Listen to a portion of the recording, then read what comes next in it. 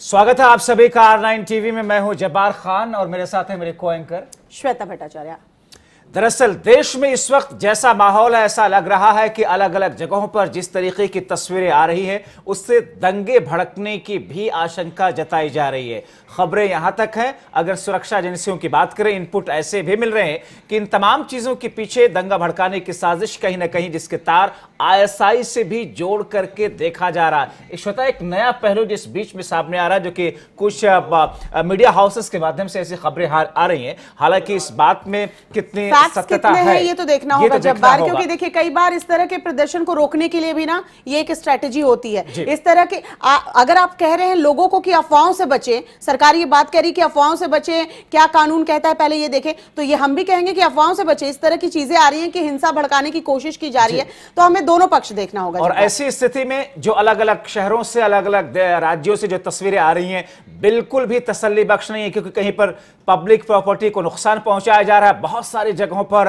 आग लगाई गई आगजनी की गई बसों में तोड़फोड़ हुई पब्लिक व्हीकल्स को आग के हवाले किया गया और ऐसे में लोग हैं? पहचानने की कोशिश करने की ज़रूरत है जब्बार क्योंकि आज जो प्रदर्शन हो रहा है पूरे देश भर से जो तस्वीरें आ रही हैं इसमें एक तो वो तबका है जो विरोध प्रदर्शन करने के लिए सड़कों पर उतरा है लेकिन पॉलिटिकल पार्टीज़ क्योंकि इन्वॉल्व हैं और पॉलिटिकल पार्टीज़ भी विरोध कर रही हैं तो ये तस्वीर बिगाड़ कौन रहा है ये समझने की ज़रूरत है क्योंकि लोकतंत्र है और हम आवाज़ इसके पीछे साजिश है या अपने आप जनता सड़कों पर है। इसको भी समझने की बहुत ज़्यादा ज़रूरत है क्योंकि इस वक्त अलग अलग जगहों पर कहीं पर बहुत सारे लोगों को डिटेन कर लिया गया जिसमें इतिहासकार से लेकर के पोलिटिकल पार्टीज़ के नेता और आम संगठन के लोग भी हैं। बहुत सारी जगहों पर इंटरनेट की सेवाएँ बंद कर दी गई हैं। आवाजाही ठप पड़ी हुई है। ज़्यादातर जगह बिल्कुल धारा एक सौ चौवालीस ज़्यादातर इलाकों में लागू कर दी गई है। शायद ये कहीं ना कहीं सरकार की कोशिश भी है कि आवाज़ को दबाया जाए। अगर आप ये कह रहे हैं कि हिंसा फैल जाएगी, इसलिए ये धाराएँ लगाई गई हैं। तो विरोध प्रदर्शन जहाँ शांतिपूर्ण तरीके से हो रहा है, इतिहासकार वगैरह जो कर रहे थे।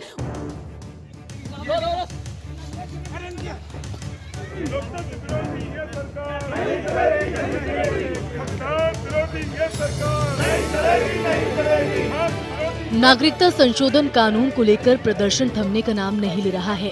दिल्ली समेत देश के कई प्रदेशों में प्रदर्शन हो रहे हैं।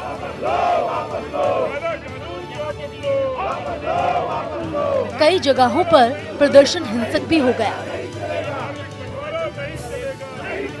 लेफ़्ट पार्टियों ने आज भारत बंद का आह्वान किया था। प्रदर्शन को देखते हुए देश के कई हिस्सों में धारा 144 भी लगाई गई है। उत्तर प्रदेश, कर्नाटक, बिहार, तेलंगाना, दिल्ली समेत देश के कई हिस्सों में प्रदर्शन हो रहे हैं। कभी आप कांग्रेस को ब्लेम करते हो कभी आप कहते हो कि किसी के कंधे पे कोई पार्टी बंदूक चला रही है। आप अपना चश्मा बदलिए और जाके ज़मीन पे देखिए कि हो क्या रहा है। असम में देखिए कि हो क्या रहा है। जो छात्र हैं, जो जो शंकाएँ पैदा हुई हैं आपके कानून की वजह से, चाहे वो कोई भी हिंदुस्तान में कोई भी यूनिवर्सिटी हो, वहाँ छात्र प्रदर्शन कर रहे हैं। वो कांग्रेसी तो नहीं है लेकिन आपका च, आपके चश्मे से आपको दिखता है कि सभी कांग्रेसी हैं। करीब 60 संगठनों ने लाल किले से अपने प्रदर्शन की शुरुआत की। हालाँकि दिल्ली पुलिस ने प्रदर्शन की इजाज़त नहीं दी थी और पुलिस ने प्रदर्शन कर रहे नेताओं को हिरासत में लिया। दिल्ली के कई इलाकों में धारा 144 भी लागू कर दी गई है। वहीं एहतियात के तौर पर कई मेट्रो स्टेशनों को बंद भी कर दिया गया है। हिंसा कहीं पे भी हो, किसी भी स्तर पे हो। हम ना पुलिस की हिंसा हिंसा का जो है वो समर्थन करते हैं और ना ही हम भीड़ की हिंसा का समर्थन करते हैं। और जो लोग गुमराह करने के षड्यंत्र में लगे हुए हैं, इस पूरे के पूरे मुद्दे को तूल दे करके अपनी राजनीतिक रोटियाँ सेकने की कोशिश कर रहे हैं, जनतंत्र की ताकत से जो परास्त हो चुके हैं, वो जनतंत्र को गुंडा तंत्र के माध्यम से उसका अपहरण करना चाहते हैं, उनको समझ लेना चाहिए कि उनकी ये षड्यंत्र साजिशें पूरी तरह से नाकाम होगी और जनता उसको मुँह तोड़ जवाब देगी वहीं यूपी में धारा 144 लगाई गई है। शांति बनाए रखने की अपील की जा रही है। लेकिन संभल में प्रदर्शन हिंसक हो गया और रोडवेज़ की दो बसों को प्रदर्शनकारियों ने आग लगा दी। समाजवादी पार्टी इस कानून का विरोध करती है। जिस तरीके से भेदभाव के साथ और संविधान की धज्जियाँ उड़ा रही है भारतीय जनता पार्टी लोकसभा, राज्यसभा में तो समाजवादी पार्टी ने अपना पक्ष रखा ही है। वहीं इस काले कानून के खिलाफ हैं। हमारा लोकतंत्र धर्म के आधार पर कभी भी भेदभाव नहीं करता। विभिन्न संगठनों द्वारा आज पूरे देश में और खासकर उत्तर प्रदेश में कई जगहों पर उनका पब्लिक एजुकेशन प्रोग्राम्स है। और इसको मद्देनज़र रखते हुए उत्तर प्रदेश पुलिस ने सुरक्षा के व्यापक प्रबंध किए हैं। हमने पूरे राज्य में एक सौ चौवालीस धारा लगा दी है। इसका मतलब है कि किसी को भी एजिटेशन करने का डिमॉन्स्ट्रेशंस निकालने का अधिकार नहीं है। अब सवाल ये है कि क्या शांतिपूर्ण तरीके से प्रदर्शन नहीं किया जा सकता? प्रदर्शन के नाम पर हिंसा क्यों हो रही है? और सरकारी संपत्ति को नुकसान क्यों पहुँचाया जा रहा है? वहीं सरकार ने कई इलाकों में धारा 144 लगा दी है और जो लोग शांतिपूर्ण तरीके से प्रदर्शन कर रहे हैं, उनको भी रोका जा रहा है, क्योंकि लोकतंत्र में अपनी आवाज़ उठाने का हक सभी को है। R nine TV bureau report.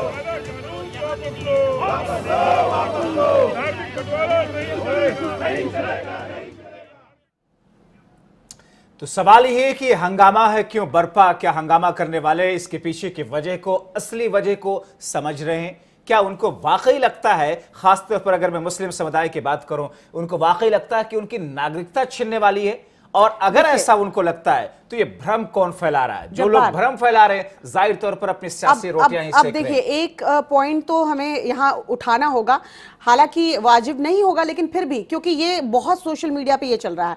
सी से लोगों को आपत्ति उतनी नहीं है जितना लोग ये या तो ये भ्रम फैलाया जा रहा है या तो सरकार ने इतनी स्पष्टता नहीं की है या जो बात बोली जा रही है लोग ये कह रहे हैं कि नहीं ये अलग तरीके से होगा। सी के बाद आप समझिए इसमें कौन एक्सक्लूडेड है जो बाहर से आए गैर मुस्लिम हम्म। होंगे। उसके बाद जब एनआरसी पूरे देश में लागू हो जाएगी ये दोनों कानून को मिलाकर बताया जा रहा है कि एनआरसी लागू होने पर एक्सक्लूजन किसका होगा? तो ये मुस्लिम एनी हाउ टारगेट है मुस्लिम के ऊपर। अब ये जो भ्रम फैला रहे हैं सोशल मीडिया पे मैंने कई कल फरहान अख्तर का ट्वीट मैंने देखा और उस पर भी आपत्ति दर्ज कराई गई। इतने पढ़े लिखे लोग अगर इस तरह की बात जिनको एक तबका फॉलो करता है उनके अपने फॉलोअर्स सवाल ये है कि आप विरोध कीजिए प्रदर्शन कीजिए सब कुछ कीजिए मगर हिंसा का रास्ता अख्तियार करके आप जिस बात के लिए विरोध प्रदर्शन करते हैं वो बात तो पीछे छूट तो जाएगी। किसी भी सरकार के लिए किसी भी सरकार के लिए ऐसे आंदोलन को दबाना बहुत आसान हो जाता है जब उसमें हिंसात्मक कदम बढ़ते हैं ये तो। हिंसा कौन कर रहा है? देखिए जब जामिया में हुआ स्टूडेंट ने प्रोटेस्ट किया स्टूडेंट का आरोपी है जिसकी जाँच की बाद अब सुप्रीम कोर्ट भी कह रहा है। और जाँच की बाद अब पुलिस की तरफ़ से भी की जा रही है कि हमने जाँच की मांग की है और जाँच निष्पक्ष होगी।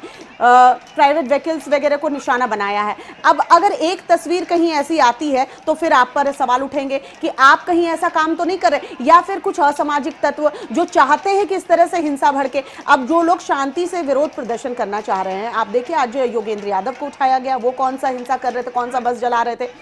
आज उन्हें उठाया गया। वो इतिहासकार मिस्टर गुहा को उठाया गया। अब वो इस एज में कौन सा बस जलाने के लिए जाएँगे? वो शांतिपूर्ण तरीके से अपनी बात कर लगता है कि ये लोग जब सड़कों पर उतरेंगे तो इनके फॉलोअर्स इनके समर्थक तो क्या है जो लोग इन पर यकीन करते हैं क्या हमारे यहाँ आंदोलन नहीं हुए हैं? क्या हमारे यहाँ अन्ना तो आंदोलन जेपी आंदोलन ऐसे नहीं नहीं लोकतंत्र में आप कैसे आवाज़ दबा सकते हैं जनता की? आपको जनता ने चुनकर भेजा है आप लोकसभा और राज्यसभा में आपने बिल पास करा लिया सुप्रीम कोर्ट में यह मामला है। लेकिन अगर जनता अपनी आवाज़ उठा रही है। शांतिपूर्ण तरीके से विरोध प्रदर्शन हो रहा है। लेकिन देखिए टारगेट क्या किया जा रहा है? अब आप देखिए कितना कितना टारगेट क्या किया जा रहा है? आप क्या कह रहे हैं? योगेंद्र यादव को उठा लिया गया। के साथ साथ सरकारी जो इतिहासकार है इतने जाने माने इतिहासकार जब मिस्टर गुहा को हिरासत में लिया गया वो यही कह रहे थे कि हम कौन सा रूल तोड़ रहे हैं? हम संविधान ये संविधान में हमारा हक है। हम प्रदर्शन कर सकते हैं हम लोगों को समझाने। शायद वो तबका लोगों को भी ये समझाए कि क्या है। लेकिन कहीं ना कहीं ये दमनकारी नीति सरकार की तब लगने लगती है जब सरकार, सीधे धारा एक लगा देती है। नहीं किया कि आप धारा एक लागू है पूरे राज्य में। पूरे राज्य में यूपी की बात कर लीजिए धारा एक दिल्ली के जंतर मंतर पर बैठकर अनशन करती है तो चूँकि कानून का हवाला देकर के उनको वहाँ से उठाया जाता है राजघाट ले जाकर के रखा जाता है फिर राजघाट पर वो आराम से अनशन करती है। पुलिस ने राजघाट से तो उनको नहीं हटाया ना। तो सवाल यह है कि अगर विरोध प्रदर्शन सिर्फ़ और सिर्फ़ शांति के साथ में अपनी आवाज़ उठाने के लिए अपनी आवाज़ सरकार तक पहुँचाने के लिए या उस समस्या का हल ढूँढने के लिए किया जाए तो फिर सरकार को इसमें किसी किस्म की तो यहाँ पर यहाँ पर आपको नहीं लगता है जब बात जब इतनी चर्चा हो रही है लोग सड़कों पर उतर आए हैं तो एक स्पष्ट स्थिति बताई जानी चाहिए। अब देखिए यहाँ पे ये जो बात मैं तथ्यों को रख रही हूँ तो ये पॉइंट क्या सरकार क्लियर कर रही है?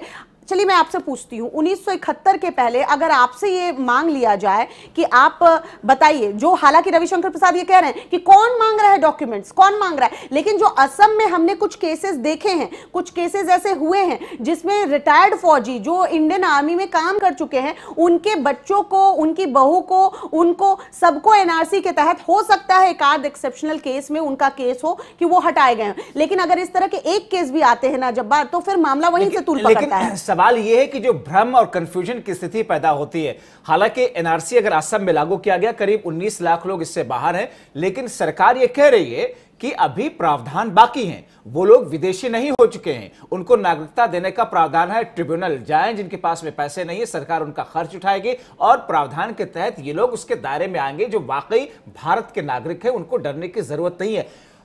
अमित शाह ने यहाँ तक कहा कि हम अल्पसंख्यकों के लिए विशेष प्रावधान की विवाद पर विचार कर रहे हैं। तो सवाल यह है कि एक भ्रम की स्थिति एक कंफ्यूजन की स्थिति इसी मुद्दे को लेकर कंफ्यूजन तो यही है ना जब बार यही कंफ्यूजन है। कहीं फैलाने की कोशिश कर रहा है। कंफ्यूजन अगर विपक्ष को भी नहीं क्लियर है तो ये चीज़ें क्लियर होनी चाहिए। या तो ये मामला सुप्रीम कोर्ट में है सुनवाई हो और जजेस जब इस चीज़ को क्लियर कर दे तब शायद एक मैसेज जाए सुप्रीम कोर्ट से पहले सरकार ने सदन के अंदर पार्लियामेंट के दोनों हाउसेस के अंदर सरकार की तरफ़ से इस पर जवाब दिया गया। टेलीविज़न अखबारों के माध्यम से जनता तक बातें पहुँची है। को बताया गया। एनआरसी अगर आप लागू करते हैं और एनआरसी में 1971 के पहले या आज़ादी के पहले की आपसे चीज़ें मांग ली जाए या बताया जाए कि आप साबित कीजिए कि आपके जो पूर्वज हैं वो यहाँ रहते थे तो इट्स वेरी डिफ़िकल्ट ये बहुत कॉम्प्लिकेटेड प्रोसेस हो जाएगा।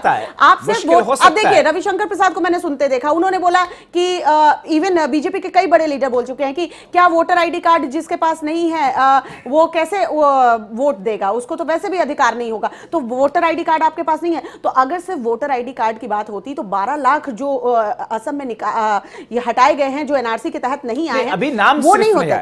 नाम नहीं देखिए वो नाम देखिए एक आम आदमी एक आम आदमी की मुश्किल समझिए जब बात। अगर मैं और आप जैसे लोग अगर एक नाम भी आ जाए ना अब हमें उसके जो चक्कर लगाने वो जो प्रोसेस में फंसना है बल्कि हमें खुद साबित करना पड़ेगा हम भारत के नागरिक हैं और आज हमें आज़ादी मिलने के इतने सालों बाद अगर मुझे साबित करना पड़े कि मैं भारत की बेटी हूँ मैं उस मामले में क्यों उलझूं? क्यों उलझू सिर्फ़ एक कानून की वजह से? आप इसके बीच अगर ये पैरामीटर नहीं रखते एक कोई तरीका निकालते या फिर स्पष्ट कीजिए कि सबके लिए ये लागू नहीं है जिसके पास आईडी कार्ड होगा प्रॉपर जो आईडी कार्ड सरकार हाँ, को सरकार, मानना चाहिए। सरकार नहीं, इस बात को कर रही नहीं असम में ये चीज़ नहीं हुआ है। सरकार इस बात को कह भी रही है ये चीज़ें सरकार ये दरअसल 1971 के वक्त तक का जो टाइम पीरियड है दरअसल इसी को असम अकॉर्ड के तहत राजीव गांधी की सरकार ने असम के साथ आप जो असम करार कह रहे हैं उन्नीस सौ पचासी का करार असम, असम अकॉर्ड को तैयार किया था।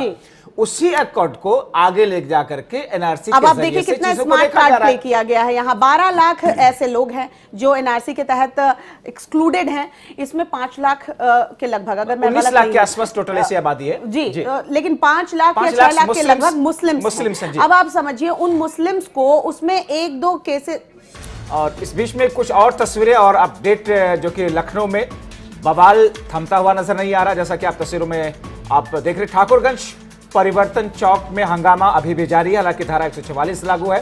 पुलिस और प्रदर्शनकारी आमने सामने ये एक ऐसी स्थिति उत्पन्न हो रही है जहाँ पर पुलिस और प्रदर्शनकारी आमने सामने हैं। अब ऐसी स्थिति में श्रोता पुलिस को इन तमाम चीज़ों पर कानून व्यवस्था सही ये से बनी ये देखिए लाइव तस्वीर है। जब बार ये तो देखिए स्थिति कैसी दिख रही है। तो कहीं ना कहीं यहाँ देखिए आग लगाई गई है और कैसे फायर ब्रिगेड की गाड़ियाँ जो है वो ये देखिए मीडिया मीडिया को टारगेट किया जा रहा है। और हमने कल तस्वीर देखी जिस तरीके से मीडिया को टारगेट करके ये कहा जा रहा है कि आप गोदी मीडिया हैं एंड ऑल आप ये नहीं समझ रहे हैं यही वो भीड़ ये नहीं समझ रही है कि हम ही ये तस्वीरें दिखा रहे हैं। तो मैं कह रहा हूँ तो आपको समझना होगा कि कहा ये तरीका ये ये तरीका तो कोई भी सही नहीं कहेगा क्योंकि कानून को अपने हाथ में लेना और संविधान का उल्लंघन करना। खामोश तमाशाई नहीं बन सकती है ना। कानून व्यवस्था संभालना लेकिन आप देखिए ये लखनऊ की बात कही जा रही है और आपने आपने देखा किस तरह से अखिलेश यादव ने कहा कि हम इस कानून के खिलाफ हैं और उसके बाद सपा के तमाम कार्यकर्ता रोड पर हैं। तो अब यहाँ क्या माना जाए? यहाँ राजनीति नहीं हो रही है। क्या यहाँ राजनीति नहीं हो रही? क्या ये आम लोग हैं जो आग लगा रहे हैं? तो आम लोगों के साथ क्यों वो ट्रीटमेंट क्यों उन पर राजनीति हो रही है।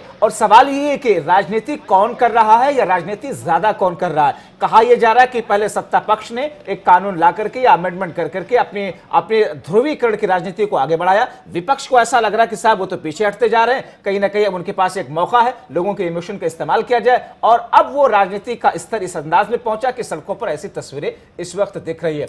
उत्तर प्रदेश की राजधानी धारा एक पूरे राज्य में लागू है और ये कल ही कह दिया गया था। सोशल मीडिया से लेकर तमाम जगह पर इस तरह के पोस्ट हमने देखे और तमाम लोगों से अपील की जा रही थी कि अपने अपने बच्चों को आप समझाइए कि इस तरह के विरोध प्रदर्शन में ना आए।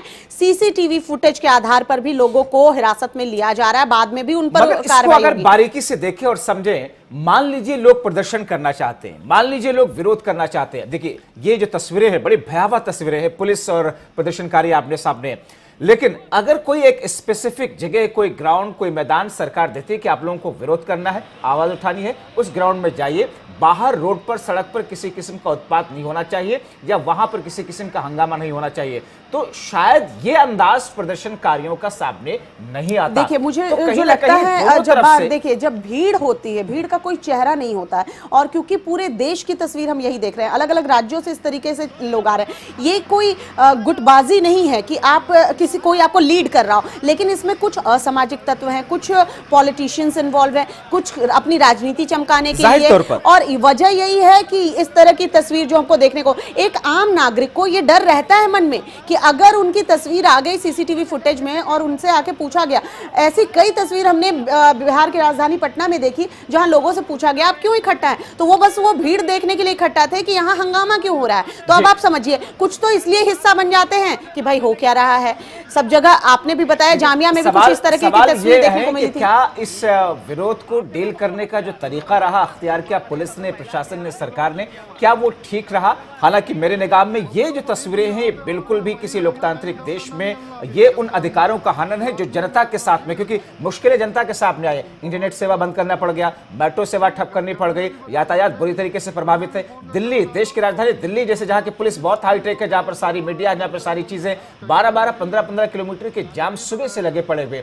ऐसी स्थिति में नुकसान जनता का है। मैं आपका ध्यान ले जाना चाहूँगा अन्ना हजारे के उस मोमेंट की तरफ़, जहाँ पर इससे भी ज़्यादा भीड़ थी, इससे भी ज़्यादा पब्लिक थी और एक साथ आते थे, मगर सड़कों पर ऐसा उत्पाद नहीं दिखा था हंगामा इस कदर नहीं दिखा अब था आपने खुद और ज़िक्र किया है जब तो देखिए वो अन्ना वो एक, ऐसा चेहरा एक, एक, एक, एक चेहरा ऐसा थे आ, कि अन्ना को लेकर लोगों के दिलों में जिस तरह का उनका काम रहा है उनके काम की वजह से वो इज़्ज़त वो सम्मान है इसलिए लोगों ने सुना था। एक बार हमें लग रहा था कि एक बार फिर से देश पूरा आंदोलित है उस वक्त। लेकिन अभी देखिए कोई ऐसा चेहरा नहीं है और पॉलिटिकल पार्टीज़ भी जो हैं वो इनके पीछे से कहीं ना कहीं इन्हें सपोर्ट कर रही हैं। भीड़ के बीच में ही ऐसे जो राजनीति राजनीतिक पार्टियाँ हैं वो अपना खेल खेल रही हैं। तो ये भीड़ को समझना होगा कि उनके कंधे का इस्तेमाल तो कहीं नहीं किया जा रहा है। इसीलिए चूँकि ज़िम्मेदारी कहीं ना कहीं सरकार के कंधों पर देश चलाने से लेकर के व्यवस्था बनाए रखने की होती है इसलिए यहाँ पर स्ट्रैटेजिकली सरकार को एक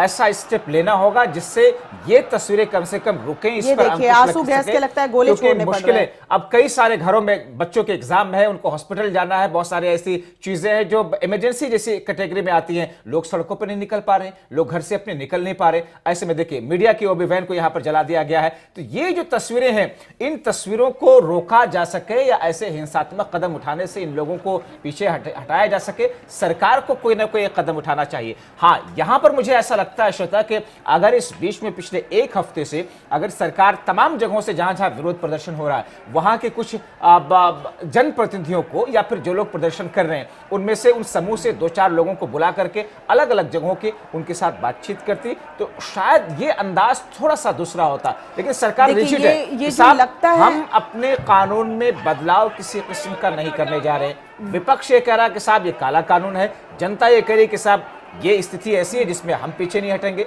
तो ऐसे में एक सोल्यूशन ढूंढना पड़ेगा और वो सोल्यूशन इस वक्त सरकार की तरफ़ से लाया जाना बेहद ज़रूरी है। मगर इसका मतलब ये नहीं कि जनता जो चाहे जंगल राज के तरीके से करती रह जाए सड़कों पर उत्पाद मचाए पुलिस के ऊपर पथराव की तस्वीरें देखिए देखिए मेट्रो स्टेशन की ये तस्वीर और इसलिए ये देखिए पुलिस के ऊपर फिर से पत्थरबाजी शुरू हो गई। कई पुलिसकर्मी घायल हुए हैं। लोगों को खुद चोट आई है इस पत्थरबाजी में। और इस तरह की पत्थरबाजी को कौन सही ठहराएगा? क्योंकि मेट्रो स्टेशन इसलिए बंद किए जा रहे हैं कि लोग इजिली उस जगह पे ना पहुँचे। पंद्रह स्टेशन सुबह से दिल्ली में बंद थे। उसके बाद खबर आई कि नोएडा के भी कुछ मेट्रो स्टेशन में एंट्री और एग्जिट गेट को बंद किया गया है। तो आखिरकार कहीं ना कहीं हिंसक प्रदर्शन को रोकने के लिए सरकार को बल का प्रयोग करना पड़ रहा है। पुलिस कर्मियों को ये सीधे तौर पर अगर यूपी की बात कर ले तो तो कह दिया गया कि धारा 144 लागू है। आप किसी तरह का कोई एजिटेशन नहीं कर सकते। किसी चीज़ को जितना आप दबाओगे रोकने की कोशिश करोगे शायद स्ट्रैटेजिकली वो चीज़ रुकती नहीं है। और इसलिए कोई बीच का रास्ता निकालने की कोशिश होनी चाहिए, क्योंकि पुलिस बल का प्रयोग करेगी। जनता को ऐसा लगेगा कि साहब, ये तो मनमाना तरीका हो रहा है। पुलिस जो चाह रही है वो कर रही है। हम निर्दोष लोग, हमारे ऊपर लाठियाँ भाज रही है। हमारे ऊपर फायरिंग हो रही है। हमारे ऊपर टीयर गैस छोड़े जा रहे हैं। ऐसी स्थिति में बीच का रास्ता एक निकालना इस वक्त बेहद ज़रूरी है। क्योंकि सिर्फ़ पहले पूर्वोत्तर के राज्यों में चीज़ें हो रही थी। दिल्ली जो कि देश की राजधानी है, वहाँ पर ये चीज़ें आ गई। उत्तर प्रदेश के पूरे इलाके में या फिर उत्तर प्रदेश के सभी जगहों पर धारा एक लगानी पड़ गई। साउथ इंडिया की अगर बात करें, दक्षिण भारत की अगर बात करें, वहाँ पर कुछ ऐसे विरोध प्रदर्शन हो रहे हैं। तो सवाल यह है कि ऐसी स्थिति में सरकार को एक स्मार्ट मूव लेना पड़ेगा और जब तक यह नहीं होगा, तब तक मुझे नहीं लगता कि इस विरोध प्रदर्शन को सिर्फ़ बल के प्रयोग पर रोका ही जा सकता है, श्रोता। इसलिए बहुत ज़रूरी ज़रूरी है, इस वक्त सरकार को क्या करना चाहिए, वो एक स्टेप लेना सरकार की तरफ़ से बहुत ज़रूरी हो जाता है, क्योंकि जनता को अब ऐसा लग रहा है कि रोक पाना बल के इस्तेमाल से ही सिर्फ़ शायद मुमकिन अभी फ़िलहाल दिख नहीं रहा है। और ऐसी स्थिति में आप बंद कर दीजिए मेट्रो स्टेशन, आवाजाही ठप कर दीजिए, नेट सेवाएँ बंद कर दीजिए, मोबाइल फ़ोन पर उसकी कनेक्टिविटी बंद कर दीजिए। सवाल यह कि ऐसी चीज़ों से तो ये चीज़ें और ज़्यादा उग्र अंदाज में सामने आएँगी।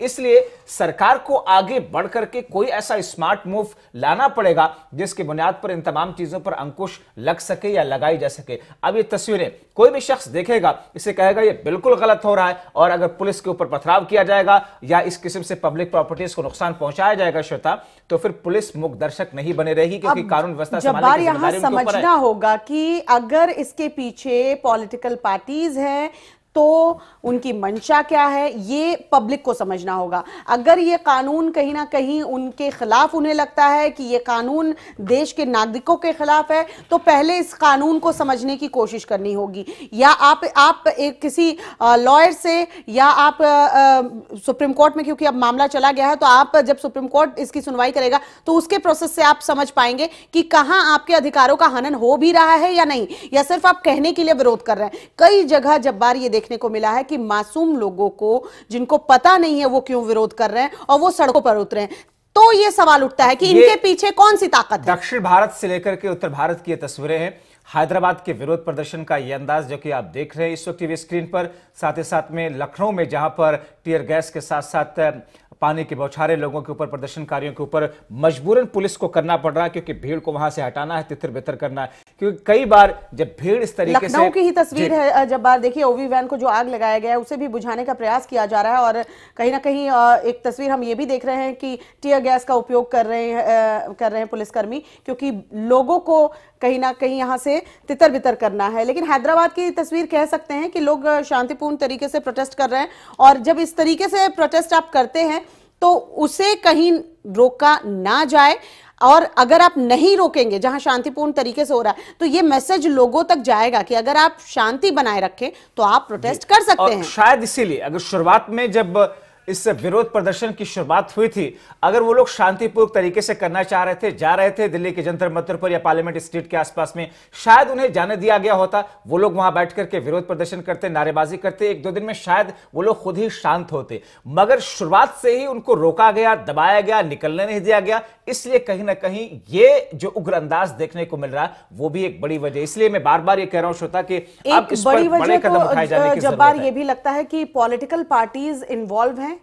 वो फ्रंट पे नहीं आ रही हैं जो भी विपक्षी पार्टियाँ हैं वो कहीं ना कहीं पब्लिक के फेस के पीछे छिपकर ये सारी चीज़ें जो हैं वो की जा रही हैं क्योंकि उस उस राज्य में ज़्यादा देखने को मिला है जहाँ जहाँ पॉलिटिकल पार्टीज़ खुले तौर पर कह रही हैं कि वो इस कानून का विरोध करती हैं। तो यहाँ उन्हें भी सोचना होगा। में सत्ता पक्ष ये कहा जा सकता है कि सत्ता पक्ष और विपक्ष के बीच की जो राजनीति है उसका शिकार भी जनता हो रहे हैं उसका असर भी जनता पर ही पड़ रहा है और उसमें एक तरीके से अक्यूज भी फ़िलहाल जनता ही बनती हुई जा रही इसलिए इन तमाम चीज़ों पर हमारी और श्रोता की तरफ़ से ऑनलाइन टीवी की तरफ़ से आप सबसे यही अपील है लोकतांत्रिक देश में आपका हक है अपनी आवाज़ उठाइए लेकिन ऐसी कोई घटना मत कीजिए ऐसा कोई अंदाज मत अपनाइए जिसकी वजह से आप ही के विरोध को दबाने के लिए सरकार को और आसानी है क्योंकि आप अगर पब्लिक प्रॉपर्टी का नुकसान करेंगे तो फिर पुलिस खामोश नहीं रहेगी। इसी के साथ वक्त हो चला है श्वेता फ़िलहाल इतना ही दीजिए इजाज़त नमस्कार।